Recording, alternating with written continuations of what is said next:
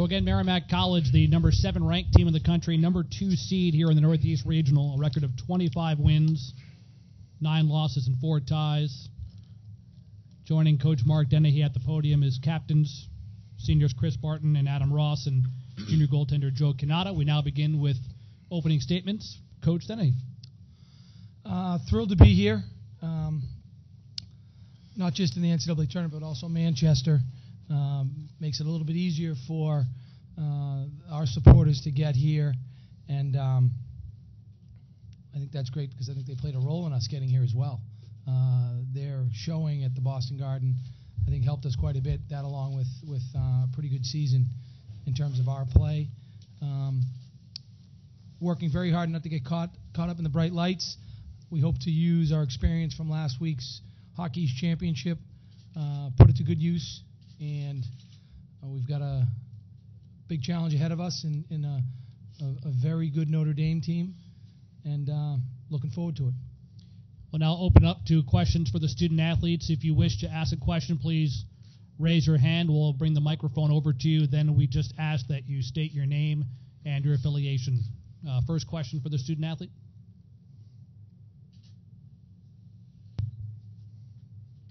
Jim Fennell from the Union Leader. Uh, this question's for either Chris or Adam. Um, you know, you guys have been here for a while. How has the reaction on campus changed um, from when you first got here to this year? Um, definitely my freshman year. You'd, uh, if we had a game on Friday night, I know a lot of the, the students wouldn't even know we had a game. And uh, obviously that's changed tremendously uh, this year. Um, you walk around campus and everyone knows what's going on, and, and they're telling us good luck. And the support's been incredible, and uh, we can't thank them enough because they've been uh, like the seventh man on the ice. Uh, yeah, basically same thing. You know, uh, when when me and Bart's first showed up, uh, crowds were pretty sparse a lot of nights. I know. Uh, I just think back to our first home opener there. Um, I think we played Niagara our freshman year, and you know there there's hardly anyone there, no one there for warm up. Um, this season we show up home opener against UConn, and place is already packed for warm up. All the students are excited. Uh, the fan section was packed, and you know that just kind of shows uh, you know the excitement that our team's built over the over the past few years here, and uh, obviously we've continued to this year. Um, you know, students staying. Uh, we went on spring break here this past week, so students have stayed back. Um, you know, um, given given up their spring breaks to watch our hockey team play, and uh, that's really exciting for us. It's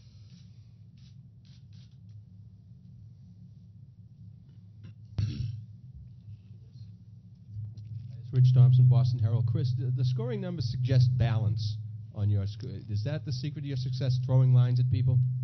Yeah, we think uh, we have four lines and, and we can roll them all game long. Um, that's been our key to where we've got today is depth. Um, there's a lot of different guys you can count on in different situations, and uh, obviously I think that's what got us here where we are today. Any more questions for the student athletes? For Joe or Chris, uh, can you just talk about Coach Dennehy's impact on the program? He's been kind of, uh, I guess, reticent to give himself any credit for this. But can you can you guys just talk about you know what kind of coach he is and what he's meant to you guys? Um, obviously, uh, he was the number one reason why I chose Merrimack College. Um, if you look at what he's done over the last six years and, and how it, how when he came in, what the place was like, and if he came in now, how how much he's done in the last six years. Um, I think that's why a majority of us have uh, been recruited and, and chosen Merrimack is because of Mark. Um, personal guy, and he's uh, one of the most competitive guys I know. So um, it's pretty neat what he's done, and uh, we're trying to do a little bit more for him before our time's done here. Yeah, same thing. Uh, most guys, number one reason why they committed here was coach, uh, him and his coaching staff, and I feel like everyone on the team's got a better relationship than most guys have with their head coaches other places, and um, friendship off the ice and around the community's good too.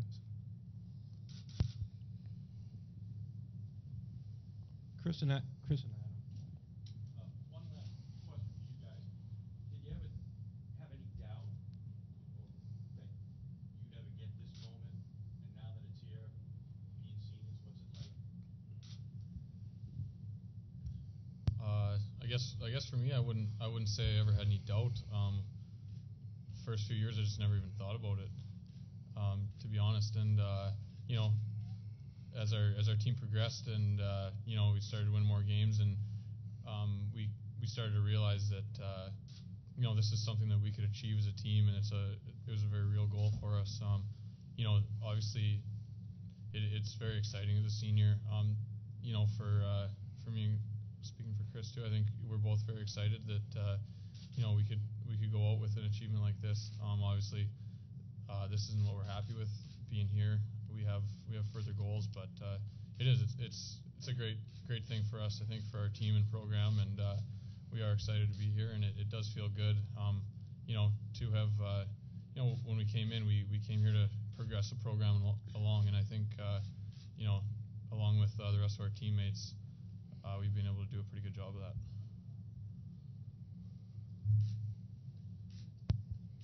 Uh, Hockey News, and uh, also Merrimack Radio. This is for all of the players. Uh, last weekend with the loss to uh, to BC in the championship game, uh, Chris and Adam, we saw how you guys reacted having to receive that runner-up trophy. Uh, what kind of motivation now after having you know tasted that kind of defeat uh, does that give you going into this weekend's games?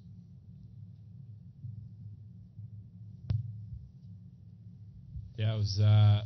You definitely don't want that trophy. Um, I didn't even get a chance to play, but think all the guys learned um, what it takes to, lo- uh, to lose and what it takes to win. Um, we have to use everything we can in this tournament because we know there's uh, a lot of good opponents left.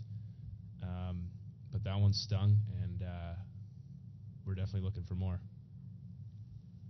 Any final questions?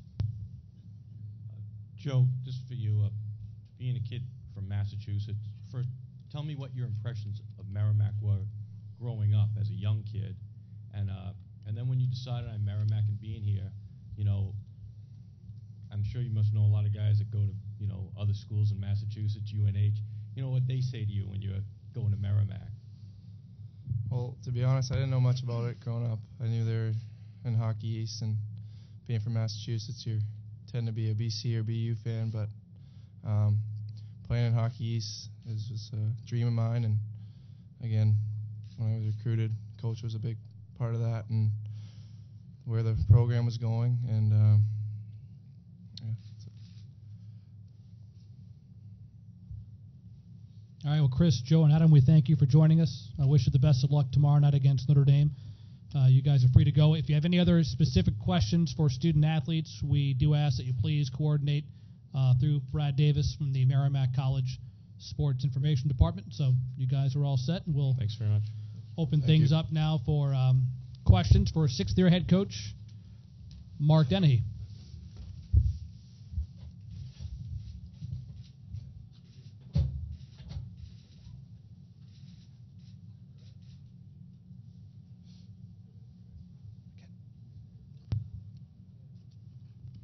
Hi, Mark. Rich Thompson from the Boston Herald. Uh, I kind of uh, asked Coach Jackson to assess your body of work over the last six years, and he thought your biggest challenge was just simply changing the culture at Merrimack. Is, is that a fair assessment? Yes, um, and and uh, you know, it comes from someone who who was part of that, both at Lake State and at, at Notre Dame. Um, I think they had been in one NCAA tournament prior to his arrival, and they've been in f- four of the last five. So um, it is, you know, you can change coaches, you can change players until you, you change the culture. Um, you know, you really not, haven't haven't accomplished much. So, you know, it was a slow process, and you never, it's you know, you never really turn the corner. Uh, this thing can get away from anybody. So you, you're on, on on constant vigil.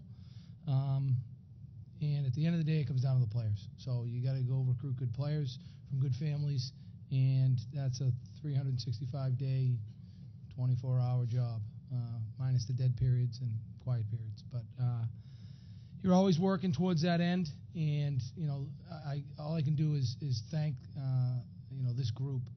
Um, they came in and they believed, coming off a three win season, that we could do this. So uh, I am happy for them that they're here.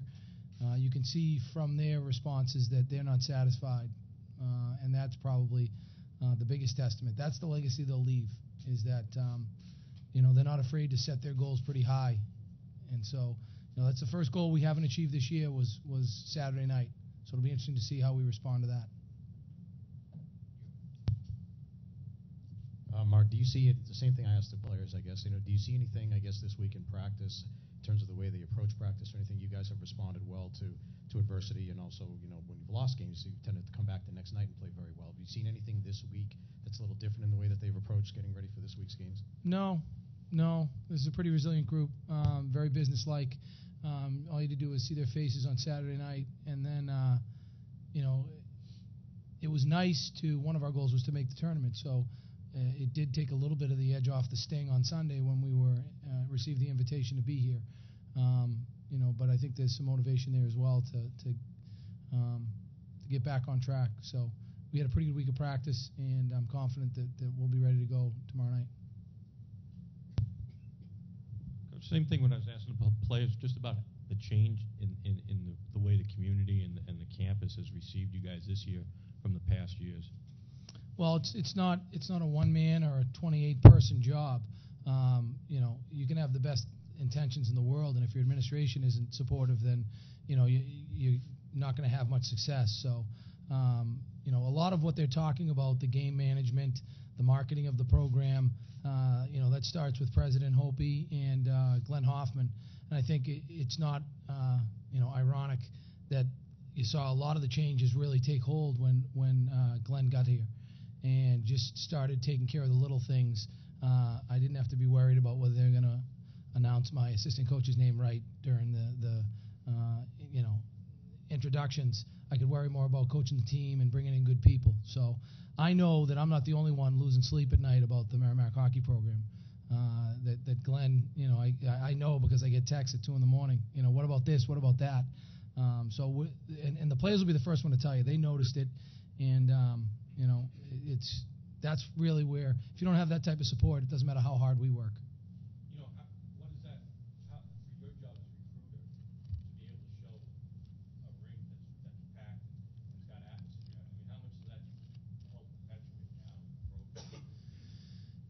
Absolutely. You know, it's the chicken or the egg. You know, do you, do you fill the rink um, because you have a good team, or do you get a good team because you got a full rink? So, you know, can you attract those players before that happens? That's why these guys were really the pioneers. The Chris Bartons, the Adam Rosses, the Joe Cannatas that, that sort of took the leap of faith.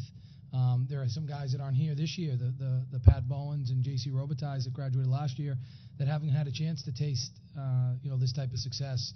And, and these guys remember them, and you know, with the wonders of telecommunications, you know, they're texting back and forth, and um, you know, there are a lot of people that aren't here that played a big part in us getting here. Any more questions for Coach Dennehy? Coach, we thank you very much. Best of luck uh, tomorrow, and congratulations on a great season so far. Thank you.